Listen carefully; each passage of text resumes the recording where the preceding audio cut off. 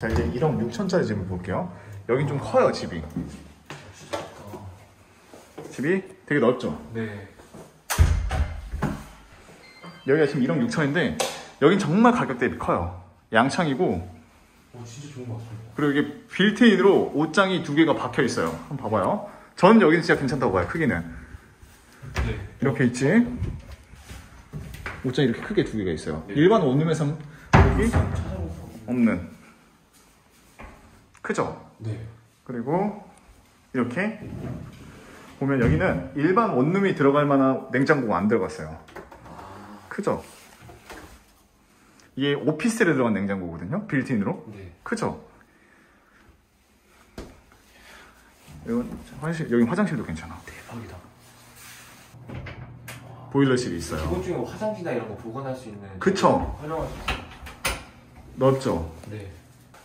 고객님들이 고민하는 게, 아, 천만 원, 이천만 원 정도 올리면 집이 더 좋아질까요? 이렇게 물어보시는데, 저는 이렇게 봐요. 이게 다 표준화된 건 아닌데, 한 1억 2천까지는 고만고만 하고요. 네. 이게 바뀌려면 한 1억 6천 정도 띄어야 되고, 또 2억으로 띄어야 돼요. 한 4천에서 5천은 발라야 집이 좀 달라진다. 네. 근데 확실히 지금. 다르죠. 그러니까 이게 너무 역세권으로 이게 많이 가버리면, 이거 가격이 1억 6천이고요. 아, 아, 당연히 2천, 3천 더 뛸 거예요. 창문만 열어봐도 되겠어요. 아, 열어보세요. 그래도 어느 정도 거리가 좀 있어서 네. 뭔가 그렇게 답답한 느낌은 안 들죠. 네. 그리고 여기가 좀 덜 답답한 이유는 보는 것처럼 여기가 창문이 두 개예요. 이걸 양창이라고 하는데 양창은 확실히 좀 덜 답답한 느낌이 있어요. 네. 이 집은 어떠세요? 전 지금까지 봤던 것 중에서는 최고입니다. 맞아요. 그러니까 이런 집들은 간혹 어쩌다 하나씩 나오죠. 여기 역으로 더 가까워졌으면 더 비싸지는 집이고 이 집이 중국 날짜가 어떻게 되나요? 여기가 이제 한 2017년, 18년 된다고 보시면 돼요. 아, 생각보다 훨씬 깔끔하고 네. 깨끗합니다. 이 정도면 내가 살만하다라는 생각이 좀 들죠. 솔직하게 네. 그쵸. 네. 이런 마음에 드는 집을 찾으면 최소 2년 이상은 이사를 갈 필요가 없어요. 왜? 이것보다 더 큰 집들이 많이 안 나오니까. 네. 조용하고.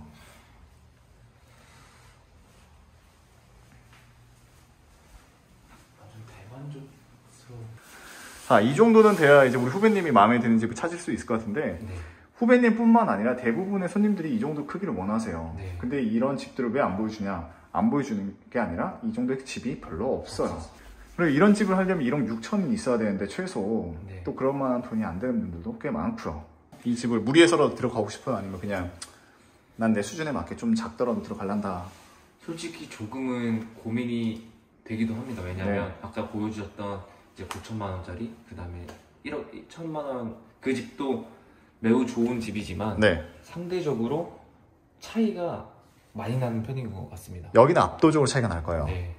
아, 자, 그 선택의 기로에 섰는데 사실 그래도 현실적인 게 맞지도 않나, 맞지 않나. 이렇게 우리가 했을 때 이자 월 납입금 차이가 아까 우리가 계산한 대로 했을 때한 아, 10만 원 이내다. 그러면 아 10만 원 정도는 내가 그래 집에 쓸 수 있어. 저는 감수할 수 있을 것 같습니다. 근데 아 이게 20만 원 넘어간다. 그럼 이제 그때는 또 진짜 고민을 좀 할 필요가 있죠. 네. 그러니까 이걸 내가 기준을 점을 잡는 거예요. 우리가 집을 구할 때 팁을 드리는 게 진짜 생각지도 않는데 너무 좋은 집이 나왔는데 그게 한 달에 10만 원, 15만 원 더 내야 된다. 네. 그럼 이걸 내가 감수할 수 있을까 없을까를 미리 플랜에 넣어놓는 것도 좋아요. 네. 왜냐면 안 넣어놓고 갖다 마음에 들고 고민하잖아요. 그럼 주말 사이에 나가버리면 또 김 빠져 집 구할 때. 네. 그러니까 그런 걸 항상 생각을 하는 게 좋아요.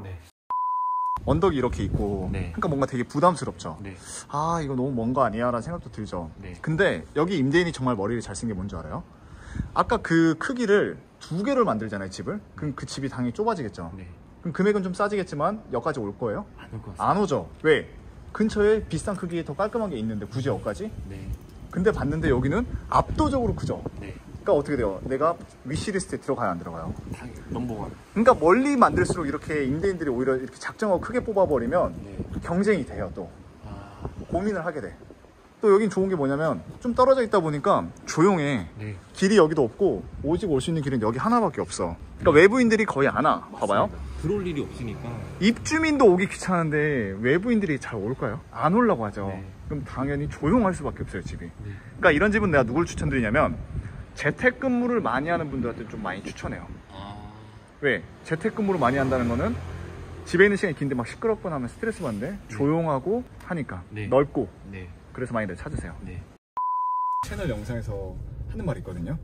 돈은 최대한 아끼고 모아라 네. 하는데 아까 우리 후배님이 3천 모았다 했잖아요. 네. 만약 4천을 모았잖아요. 네. 후배님은 조금 더 부담 없이 1억 6천짜리 집을 접근을 했을 수 있었을 거예요. 네, 맞습니다. 그 천만 원 때문에. 그러면 그 전에 썼던 돈이 허투루 된 거냐? 허투루는 아닌데 그거는 그때 진짜 그 순간이었잖아요. 네. 근데 내가 그때 그거를 좀 참고 더 모아서 천이란 돈이 더 있었으면 지금 1억 6천 할 때 난 1억 2천만 대출을 받으면 되니까 부담이 또 줄어들게 네. 되는 거죠. 맞습니다. 근데 지금 천이 부족해서 그 천이 5만 원으로 또 나한테 다시 되돌아온단 말이에요. 부메랑이 돼서. 네.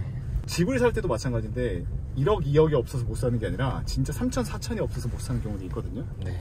그러니까, 그러니까 제가 돈을 혹시 모르니까 항상 죽을 만큼 최선을 다해서 모아라 이렇게 말을 하는 거예요. 네.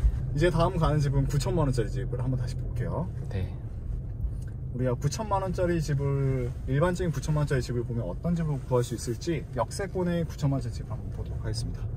다음 9천만 원짜리 집은 네, 어떤 역에서 몇 분 정도 거리가 잡히는 여기는 신대방 삼거리역에서 도보로 한 4분 걸리는 평지라고 보시면 돼요. 아까 우리가 봤던 1억 6천짜리 집은 언덕이 껴있고 4분이지만 네. 여기는 평지 4분이에요. 음. 언덕 4분과 평지 4분은 또 느낌이 다르죠. 네. 선생님께서 해주신 말씀을 듣고 네. 이제서야 조금은 드는 생각은 네. 최대한 아끼는 것이 단기 자원들에게는 미래에 분명하게 도움으로 돌아올 게 분명하게 저도 느끼고 있어서 자 후배분들 정말 돈 아끼고 해야 돼요.